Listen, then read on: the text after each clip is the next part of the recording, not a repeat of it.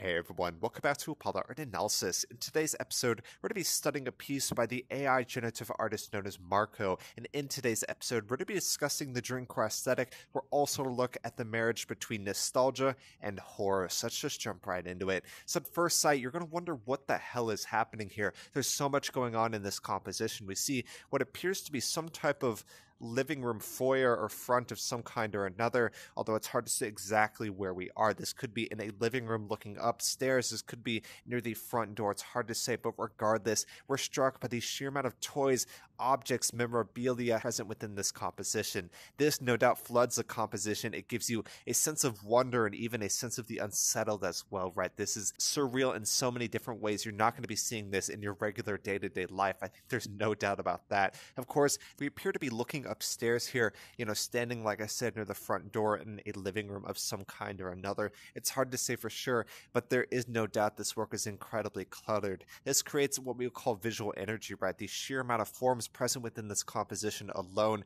that gives an incredible amount of energy, a sense of rhythm, but it is quite wild. It is chaotic. And like I said, we don't know what exactly is happening here. We see this across multiple different things from, you know, the placement, like I said, of form, but also that sense of color, right? So many different colors are present within this composition. So that is going to overwhelm you. It's going to give you a lot of visual energy, and that's also quite important to talk about. I also want to discuss, you know, like I said, the sheer amount of colors here. We have everything from, you know, yellow to blue to red, green. There's so much happening within this work. So this is all going to clash. It's going to feel garish. It's going to feel quite unsettling, even terrifying in that aspect as well. So this work is honestly created to make you feel unsettled. And I think it does a brilliant job about that. And of course, next to this sense of color is this kind of grainy composition, right? There is this sense that we are in a dream. It is, you know, ill defined. It is a little low resolution. It is grainy. It is foggy, if you will, as well. So I think that all reinforces that feeling alongside this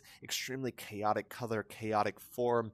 And of course, it feels like an absolute nightmare here. But of course, with this in mind, I wanted to ask you guys, how do y'all feel when you view this composition? Is this work unsettling to you, or do you feel a different emotion? Do you somehow feel nostalgic when you look at this? I want to know what exactly y'all are feeling when you're looking at this work. And so I briefly mentioned it, but the setting appears to be some type of home at the very least, right? We could be near the front door looking upstairs, or we could be in a living room. It's hard to say for sure, but regardless, this points to the suburbs, right? The kind of American suburbs, if you will. These are typically used as symbols of sterility or symbols of individualism, right? People typically live in single family homes, quite, you know, separated from one another. You know, you're going to see your neighbor and you go out, you see people in your community when you go out to the supermarket or something like that. But in your regular day to day life, it's pretty easy to kind of, you know, feel isolated in the suburbs. And also, I say sterility because in the suburbs, a lot of people and children are quite protected. They're sheltered.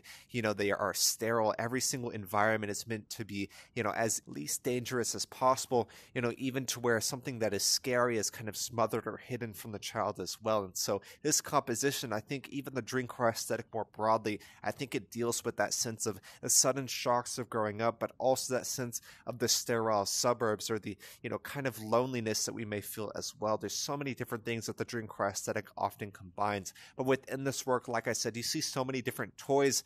Even each one is kind of ill defined. That's what the AI generative medium does quite so well. But we see a lot of consumer goods, you know, stuffed animals. We see what appears to be a slide or a toy, inflatables. We see, you know, various picture frames. We see even a computer in there. We see lamps. We see so much going on within this composition. So this could point to consumer culture. A lot of people feel like they're, you know, crushed under the weight of the amount of items which they have. Of course, outsourcing things like to China has created very cheap and abundant goods. There is no doubt about that. But there comes a point where people feel like they need to get rid of a lot of things. They have too much. And I think we certainly feel that within this composition. The title of this work is What Happened. That's exactly what I opened this video off with. You know, it's hard to say what the hell happened here. It feels like we're in a nightmare in so many different ways, right? There is this sense of confusion. We wonder where these items came from. We wonder if they belong to us. We wonder even where exactly we are. So all of this confusion works so well to create the spirit, the mood, and the visual experience and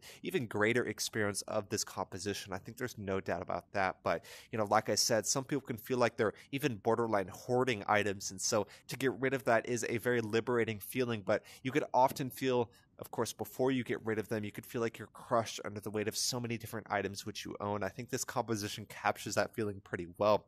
But at the same time, these items which you own, they are going to be connected to memories in some kind or another. So you could see this work as a memory vault as well. You know, so many different memories in the house which you inhabit, all the items which you own, they all capture something in some way or another. They can be hard to let go. I think there's no doubt about that. But, you know, these items, they just flood the composition. They create this very unsettling visual experience and they are, you know, pushing into the boundary of horror. I think there's no doubt about that. So to talk about the Dreamcore aesthetic, we have to understand childhood nostalgia and then even at times a sense of the unsettling. I have two additional works here, one from the original artist Marco and another from emptyspaces.png as well as Dextinasia. I'm going to bring in two additional works here to talk about the Dreamcore aesthetic a little bit more.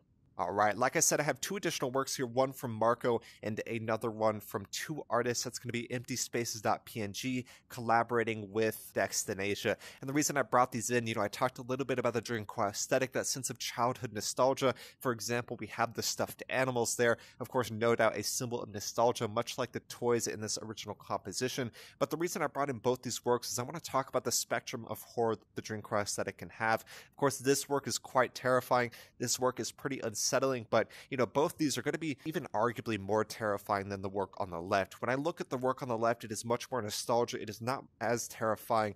Course, it is a very gray, dim, and depressing setting, but that is nothing compared to these two terrifying works on the right. So the Dreamcore aesthetic can be, you know, a little unsettling or could be extremely unsettling, but I think all three of these works would be characterized under the Dreamcore aesthetic. People often combine that with liminal spaces as well. I think we certainly see that. So I just want to bring in two additional works to talk a little bit more about the Dreamcore aesthetic. I think that's just so important here. All right, so of course the Dreamcore aesthetic, that mix of childhood nostalgia, also mixing with the nightmare. Of course, it is also a dream as well. And there's also this feeling that people are also slow to grow up as well. You know, they kind of hold on to childhood as long as they can. They don't want to become an adult. And I think the Dreamcore aesthetic captures so many different elements of that feeling, as well as everything we mentioned before. But like I said, this work feels like a nightmare. It is absolutely terrifying. It is surreal as well. You're not going to be seeing something like this in real life because some of these toys they just kind of are mangled and merged into one another. So that creates that surreal spirit to the work at hand, even more terrifying. I think there's no doubt about that. But really hope you'll enjoy today. The work before us, like I briefly mentioned, is an AI generative work. So it's created in the AI art program known as Midjourney. Midjourney is incredibly popular. Everyone from amateurs to professionals use Midjourney to create their work. So if you don't get involved in the world of AI generative art, Midjourney is an incredible place to start. But yeah, we talked about so many different things today from the Dreamcore aesthetic, a sense of nostalgia, the sense of horror. Of course, many different elements of the Dreamcore aesthetic from nostalgia to horror.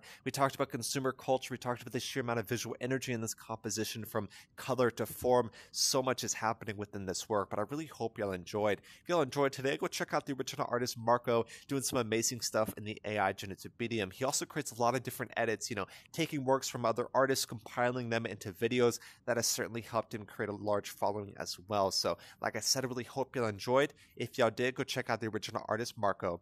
My name's Apollo. This was Apollo Art Analysis, and I'll see y'all on the next episode.